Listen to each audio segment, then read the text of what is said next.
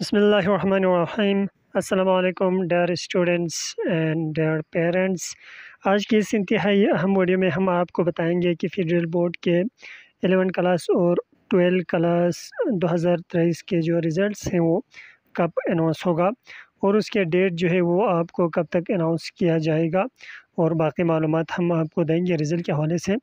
लेकिन आगे बढ़ने से पहले वीडियो को लाइक करें चैनल को सब्सक्राइब करें और बेल आइकन पे आल का बटन प्रेस कीजिए ताकि आपको मज़ीद हमारी इन्फॉर्मेटिव वीडियोस मिलती रहें। आई वीडियो में हम आगे बढ़ते हैं। तो ये मैं आपको एक नोटिफिकेशन दिखा रहा हूँ। ये ए, मैंने किसी सोशल मीडिया प्लेटफॉर्म से उठाया था। तो ये जो है मुख्तलिफ़ जो है जगहों पे ये गर्दिश कर रही है। सोशल मीडिया पे कि जो रिज़ल्ट है वो अट्ठाईस को आने वाला है।